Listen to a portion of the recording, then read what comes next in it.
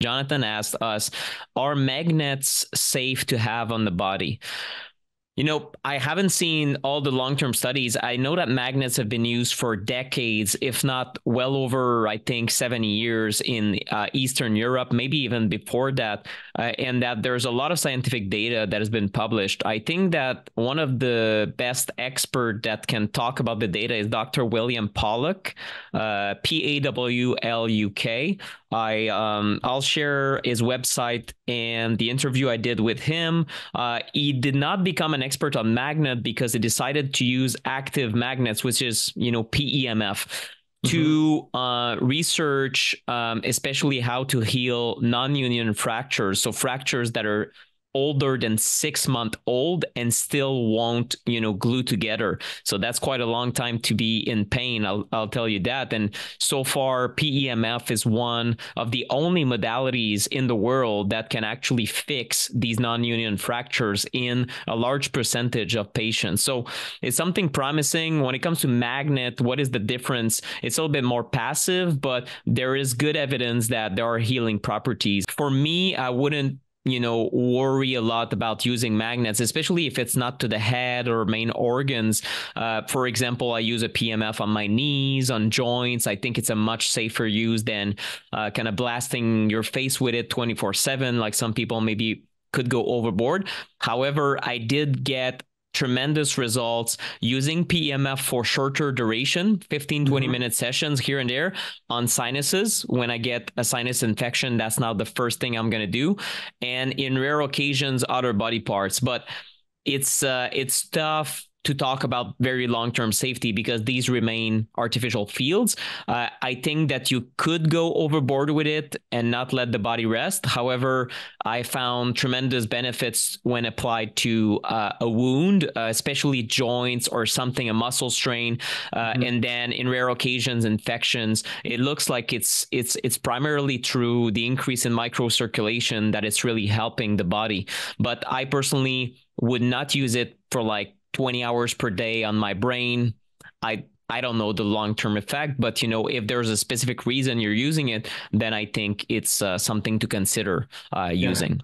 Yeah. I agree completely, Nick, and that's that's kind of the same viewpoint that like Dr. Robert O. Becker expressed in his research um, with with his uh, with his research on PEMF, and in many yeah. ways, he's the father of PEMF research and that and that like he was the one experimenting on salamanders and sh- showing how they could regrow limbs and with with voltage and different pulsed electromagnetic frequencies and uh, and I agree and I think Dr. Jack Kruse agrees as well like yep. he talks about that a lot as like and I and I agree because for me everything's like in this framework of an ancestral perspective and I love technology I want us to be able to use use technology to our benefit but we have to use it within a respectful framework of where our biology came from. And so for me, the foundations of energetic frequency based medicine or healing is grounding, sun, protect against the stressors that are modern stressors,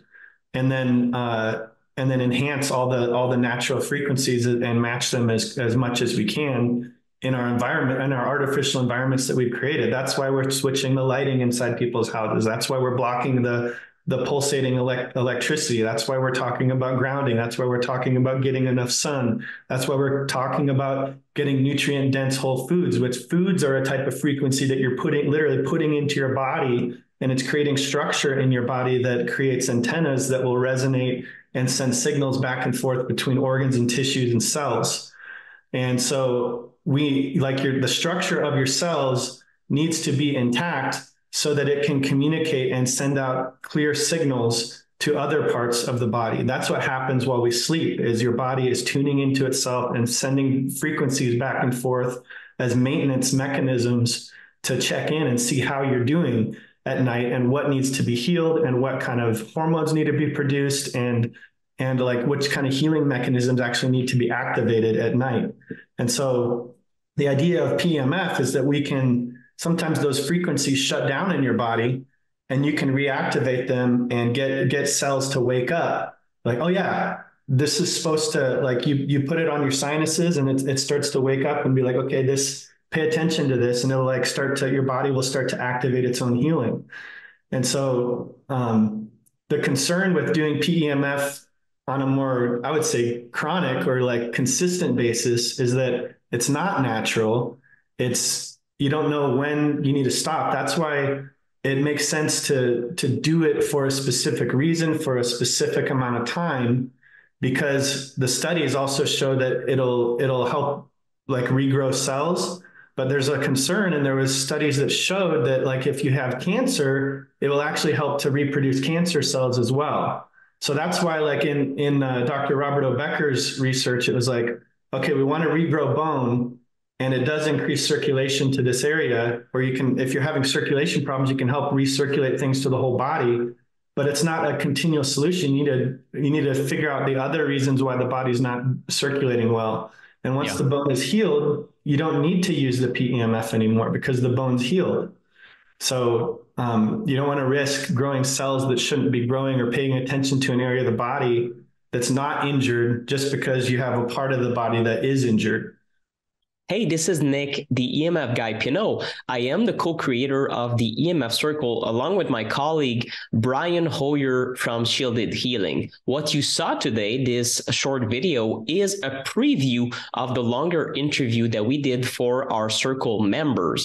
Every month we have a masterclass like one of these or a Q&A session with me and Brian most of the time. So you get personal support and attention on your EMF reduction journey. So if you want to reduce EMF because you are personally sensitive or you're just trying to take precautionary measures to better your health and minimize the risk associated with wireless and other types of EMFs, then the EMF circle is the place to be. We have a ton of archives now. We have several months worth of Q&As that you can can listen back to. Everything is pre-record is recorded. You can either join live or just listen to the replay. So we have a cars masterclass, we have a pr- free protection masterclass uh, uh, also that we did, and we're gonna have several other masterclasses moving forward. So we hope that to join us inside the EMF circle. Just visit emfcircle.com or click the link under the video to join us. I hope to see you then.